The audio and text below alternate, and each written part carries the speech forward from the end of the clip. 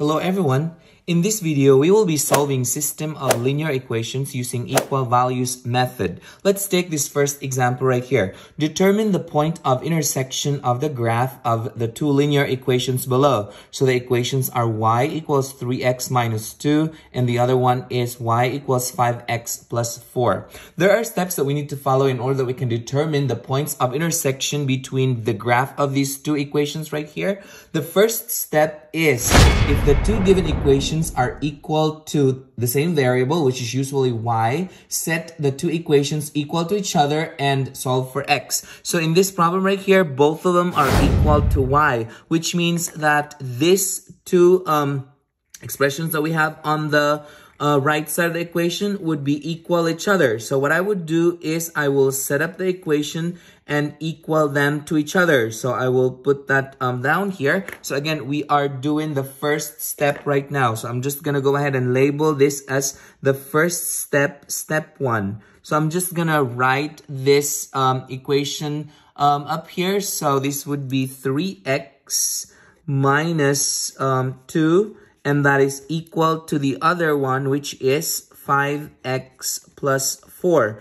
So what I did was I just equal these uh, two equations to each other. So that's how I um, got this equation right here. So Part of this step is to solve for x. So we are going to go over this. Um, in order that we can solve for x on this, we're supposed to make sure that the x is isolated on one side of the equation. So we have here a plus 5x. So we remember that the opposite for addition is subtraction. So I'm going to subtract 5x from both sides and then minus 5x here so that we are left with so by the way, we can cross the 5x and the 5x here. And so we are left with uh, 3x minus 5x is negative 2x. And then we bring down the negative 2 right here, and that is equal to 4. Now, again, our target is to isolate x by itself here since we still have other um, numbers around the x, the negative 2, the minus 2 here. So we need to get rid of them. Since this is a um, subtraction, so that's a, a minus 2, we remember that the opposite of subtraction is addition. So I'm, I'm just going to add 2, and then I'm just going to add 2 right here so that we can cross the 2 out. So we are left with negative 2x here because we already crossed out the uh, negative 2 and the positive 2 and that is equal to 4 plus 2 is 6. So this is the equation that we got here. So I will um, show the rest of the work um, up here. So again, this is, I'll just copy this down. Negative 2x is equal to 6. So negative 2x means that negative 2 multiplied by x is equal to 6. We remember that we want to get rid of this negative 2. We remember that the opposite for multiplication is division. So then I will divide negative 2 to both sides. Divide this by negative 2. When we divide negative 2 on that, this becomes a 1. So we are left with x is equal to 6 divided by negative 2 is negative 3. So this is the value of x. So I will put that inside the box. Now we're ready to move on to the second step. The second step is to plug in the value of x from the first step to any of the original equations that we have here and solve for y. So we can pick any of these um, two equations from here so that we can solve for y. So I'm just going to go ahead and label this one as step 2 right here.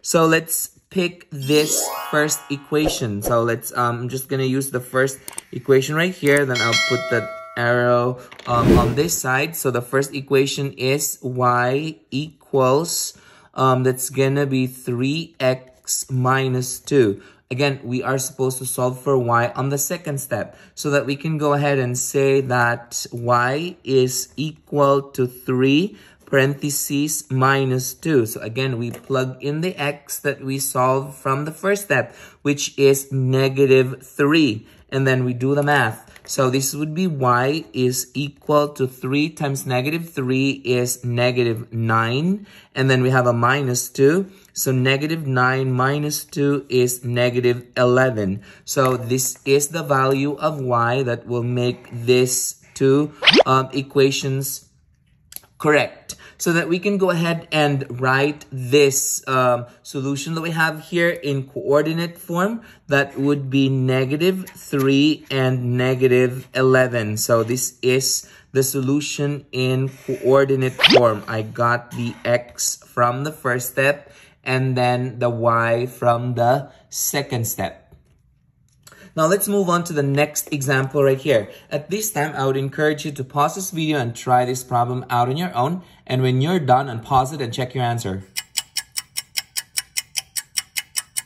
Okay, so we go over the problem here. Again, the first step is if the two given equations are equal to the same variable, which is usually y, set the two equations up equal to each other and solve for x. So as you can see here, both of them are equal to y so that we can go ahead and move on to the first step. So what we do here is that we take the um, right side of the first equation and equal it to the um, right side of the second equation. So I'm just going to go ahead and uh, write the um, equation right here equal to each other. So that would be negative 3x plus 6. I got that from there. And that is equal to the second one right here, which is x minus 10. So part of this step is to solve for x. So as you can see here, we have x on both sides. So we need to have x on one side only. So what are we going to do here is that since this is a positive x, remember that the opposite for addition is subtraction.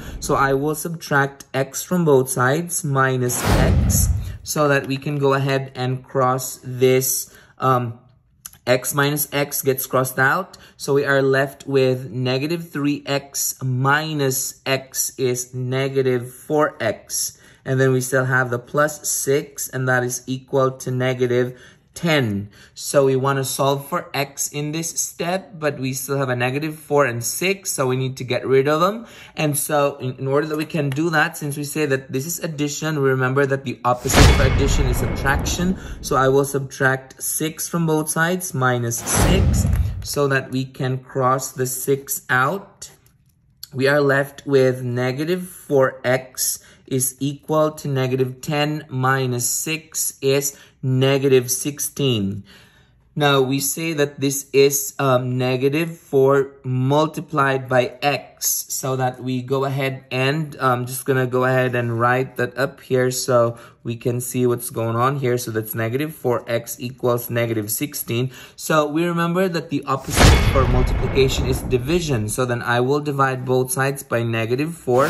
Divide this by negative 4 so we can cross this out we are left with just x and that is equal to negative 16 divided by negative 4 will come out a positive because two negatives um, divided uh, to each other would come up positive. So this would be a positive 4. So this is the value of x for this two equations that we have right there. And so we are now ready to move on to the second step. So I'm just going to show the um, second step right here, I will label this as S2.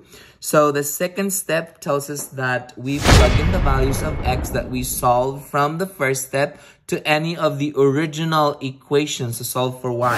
So we can pick any of these equations. So let's just pick the first one here. So I'll show the work on the um, side right here. So I copy the original equation that is y equals negative 3x plus 6. So we're going to plug in the value of x that we solved here so that we can solve for y. So that is y equals negative 3 parentheses plus 6. The one that we put into the parentheses is the x that we solved from the first step, which is 4. So I put that in there. So this would come out y is equal to negative 3 times 4 is negative 12 plus 6. And so negative 12 plus 6 is negative 6. So this is the value of y that will make this um, two equations equal to each other. And so we can actually write this um, solution that we have here uh, um, as a coordinate form. So that would be 4 and then negative 6. So this is the point where the graph of the uh, the graph of these two equations that we have here will intersect or will touch each other. Did you get the same answer as this? Good. Perfect. If you find this video helpful, hit like and subscribe for more math videos. See ya!